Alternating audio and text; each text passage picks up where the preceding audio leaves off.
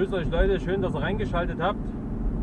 Ich bin jetzt gerade auf dem Weg ins tiefe Erzgebirge und treffe mich da mit dem Rob, der hat ein paar schöne Messer dabei, die ich mir mal anschauen will und wir werden eine Nacht draußen im Wald verbringen. Haben vor, ein kleines Feuerchen zu machen, was Leckeres zum Abendessen uns zuzubereiten.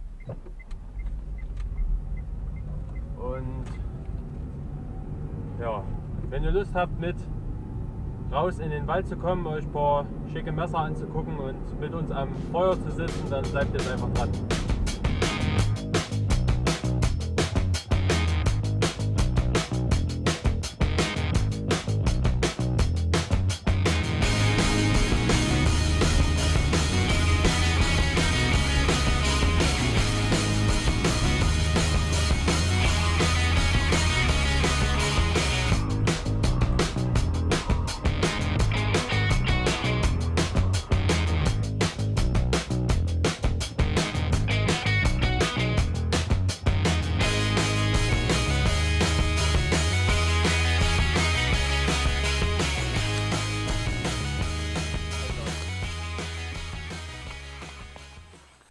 Nachdem wir jetzt ungefähr zweimal im Kreis gelaufen sind hier in dem Wald, haben wir jetzt endlich eine geeignete Stelle für unser Nachtlager gefunden. Ich zeige es euch mal.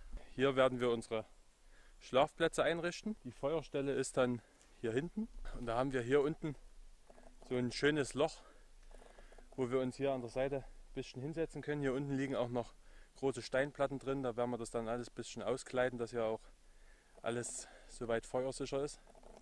Und dann steht einem gemütlichen Abend eigentlich nichts mehr im Weg. Wir haben doch noch anderes. Trink Bier, spar Wasser. Das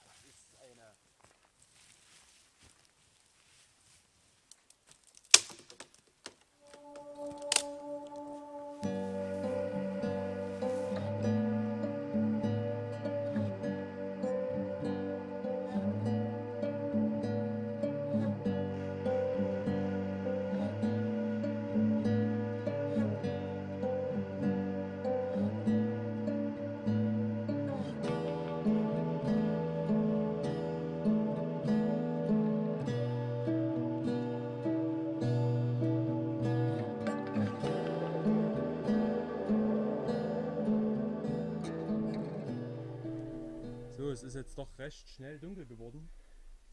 So sieht jetzt unser Aufbau aus. Hier die Plane, das Tarp nur als Sichtschutz. Schlafplatz Nummer 1, Schlafplatz Nummer 2. Direkt geschützt hier unter dieser großen Fichte. Regnen soll es nicht, von daher werden wir da auch keine Probleme haben. Und hier unsere Feuerstelle. Da haben wir jetzt genau dort, wo jetzt die Feuerstelle ist, lagen die Steine schon nur ein bisschen unter Moos vergraben, haben wir freigelegt. Eine schöne Feuerstelle hergerichtet. Und da werden wir jetzt mal ein bisschen zündeln.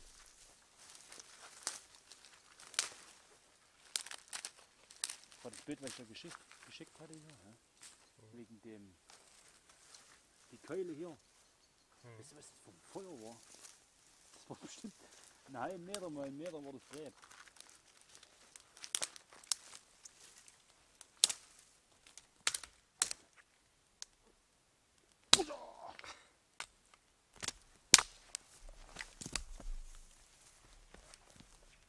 Ah, es ist ja nicht so, dass wir übelstes Messer wird haben und eine Säge. Kloppen wir uns noch die Knie breit. Haben wir es kennen. Genau. Haben nämlich auf die Knie haben wir nämlich Hornhaut. Ah, doch nicht.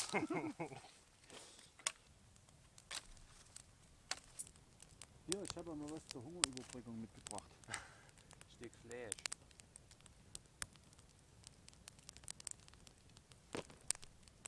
Die Käseknacker. Oh, das ist eine Gitt. Also verhungern werden wir nicht. Nee. Alle verdursten.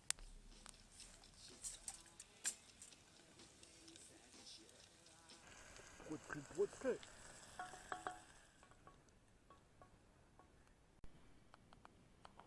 Das solche Lieder höre, hätte in Erinnerungen hoch. Da haben wir So, neben den Steaks gibt es natürlich heute auch noch ein bisschen mehr, nämlich leckeren Gulasch. Der wird hier frisch über der Flamme von unserem Spitzenkoch hier zubereitet. Das wird fein. Ich glaube, wir sitzen noch bis um drei in der Nacht und essen hier. Genau, und der Gulasch ist erstmal nur das Amüsgel.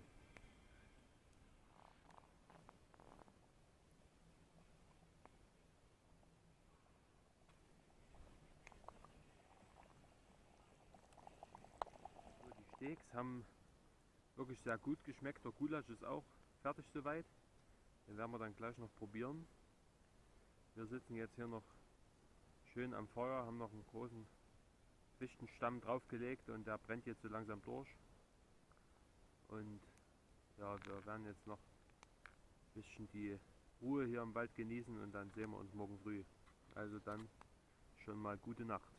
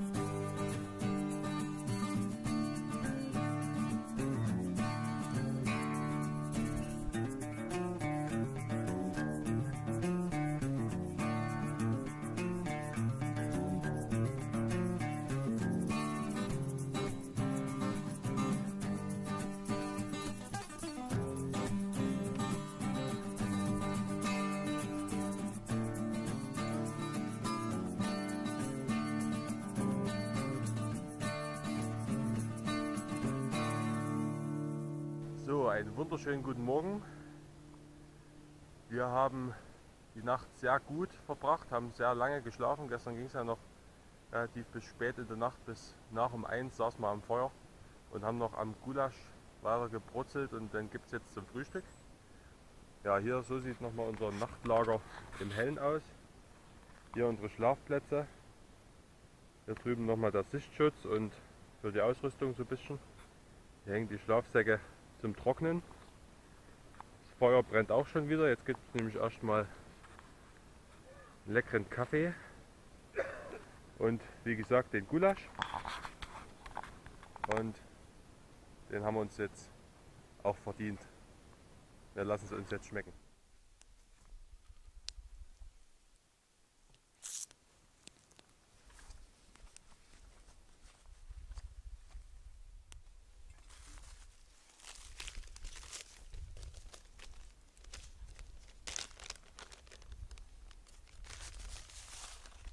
Wir sind es nicht würdig.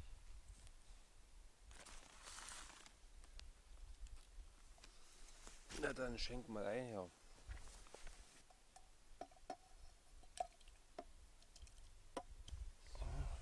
Ja, dann. Wenn das kein richtiges Waldläuferfrühstück ist, ja. schmecken lassen. Mm.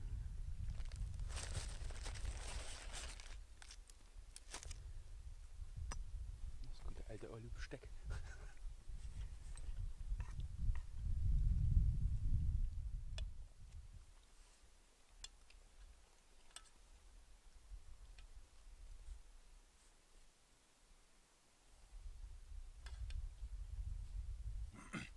Würde mir aber das in den hier ziemlich schwierig vorstellen. Ihr habt das gestern mitgekriegt, selbst das hier war so ein bisschen Kotzgrenze. Und noch kleiner.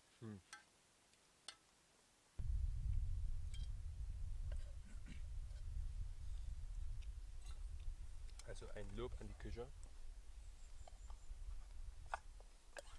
Mhm. Ja. Sehr gut. Sehr, sehr gut. Und Im Endeffekt kannst du sagen, das Grundprinzip Fleisch, Wasser, Zwiebeln, Salz, Pfeffer, kannst du eigentlich mit jedem Stück Fleisch machen. Hm. Als Braten. Weil viele sagen, ich kann das nicht und ich kann nicht kochen und keine Ahnung, wie der Braten geht. Im Prinzip ist immer, immer wieder das Gleiche.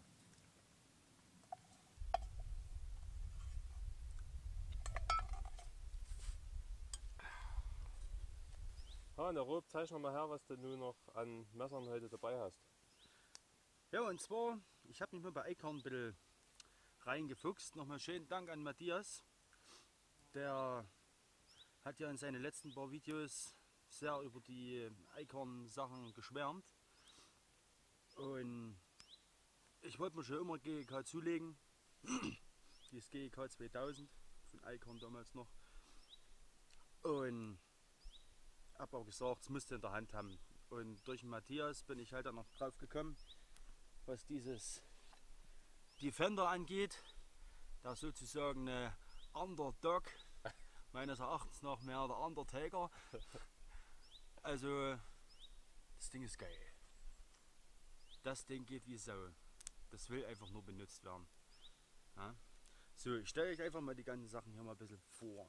Und zwar, lange Rede, kurzer Sinn, GEK. Ein schönes Messer. Ein wirklich sehr, sehr schönes Messer. Liegt richtig schön in der Hand, wunderbar verarbeitet. Beim Stahl habe ich die günstige Variante gewählt, das Professional. Äh, scheint vollkommen auszureichen. Das ist der 440er Stahl, aber durch dieser Eishärtung äh, soll dieser Stahl sehr, sehr gut sein. Also die teuerste Version, die ist mit dem Böhler-Stahl gemacht und der soll von Eichhorn durch dieser guten Härtung sehr, sehr gut sein. Matthias sagt aber, die günstige Methode, wenn man jetzt wirklich sagt, man will nicht allzu viel Geld ausgeben, reicht vollkommen aus, lässt sich schön nachschärfen, hält auch schön die Schärfe. Muss ich sagen, wunderbar das Messer. Was jetzt Patun und so angeht, brauche ich nicht viel zu erzählen. Wer sich in der Materie auskennt, weiß damit was anzufangen. Die Klinge ist schön lang. Mäuse könnt ihr euch ja im Internet raussuchen. Das Ding geht. Ja, kann man hier schön, wenn man jetzt hacken will, einwandfrei. Jetzt habe ich hier noch zu liegen einmal das Wolverine. Wo ich sage beim Wolverine wieder die gleiche GEK-Klinge. Wolverine GEK. Muss dazu sagen, wer jetzt die Low-Budget-Methode wählen möchte und sagt, ich habe nicht so viel Geld, will aber ein ordentliches Messer, 80 Euro, Top-Messer, bist du mit dabei, das Ding kannst du wüten. Ansonsten gleiche Geschichte wie beim GEK, bloß dass man halt hier einen schönen ergonomischen Griff hat, eine schöne Lederscheide, gefällt mir auch sehr gut. Okay, kommen wir zum FK 2000. Das dürfte ja soweit bekannt sein. Ja. Schwarz mit diesem Loch für diese Zange hier. Zack. Ja. Ja, kannst du hier hier die Stacheldrahtzeugs und so, ist sehr schön. Drahtschneider quasi. Ja, was mir jetzt daran etwas nicht gefällt, ist, dass hier hinten, wenn du das jetzt hier dran hast, ja, und du willst jetzt damit Draht schneiden, musst du das ja irgendwie wegbekommen komplett. Da haben die sich ja was einfallen lassen mit so einem Clipsystem hier. Das geht aber wirklich schwer ran und schwer wieder ab, wenn du es hier an der Hose hast. Also im Endeffekt hast du übelste Fummelei. Ja. Liegt auch so in der 80 Euro. Ist jetzt von der Stärke her, vom, vom Messerstahl, äh, vom Messerstahl, sorry, von der Stärke her, was die Klinge angeht, nicht ganz so wie die anderen. Die dürften sich, glaube ich, auf 4,6 mm belaufen. Der hier ist nicht so. Gut, Das ist quasi ein Stück dünner. genau. Ja. Dann haben wir jetzt hier das Defender 110. Ja. Ich muss mal im Vergleich halten. Ja. Äh, auch sehr gut, kopflastig, liegt gut in der Hand. Na, wo ich mir aber gesagt habe, äh, 40 Gramm schwerer, 10 Euro teurer, scheiß drauf. Hm. Ja, Nehme ich mit. Wegen 10 Euro und 40 Gramm Ja. gehst du halt einfach aufs Große. Und das läuft dann halt einfach Ja. besser. Wer jetzt aber sagt, platzmäßig, gewichtsmäßig, wäre die kleine Variante auch ganz gut Hm. und erfüllt auch seinen Zweck. Wobei es eben schon groß, größtenteils auch für Hackarbeiten gedacht ist und da ist natürlich die, sind Ja. die paar Zentimeter mehr Klingenlänge schon auch Ja. nutz, gut nutzbar, sag ich mal. Wo man aber dazu sagen muss, wie schon gesagt, also man kann jetzt damit auch gut Kleinarbeiten machen, schnitzen. Ja. Na? Und äh, man halt auch die großen Arbeiten. Na? So. Matthias wird sagen, geht wie Adi. nee, äh, Undertaker, Underdog, kann ich nur empfehlen. Das Ding ist einfach nur gut. Gut, Super. Klaus, wieder an dich. Schöne Messer. So, jetzt gibt es erstmal noch einen Kaffee.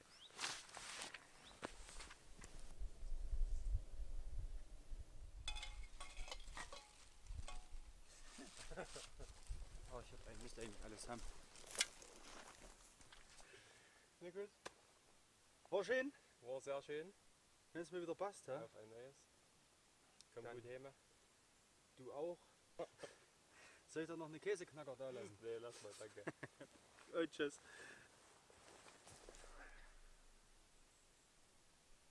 So, die Feuerstelle ist soweit ordentlich abgelöscht mit Wasser, was wir hinten aus den alten Fahrspuren der Forstfahrzeuge hergenommen haben. Ordentlich abgelöscht, alles wieder abgedeckt. Und wenn es hier die nächsten paar Male geregnet hat, sieht man hier keine Spuren mehr von uns.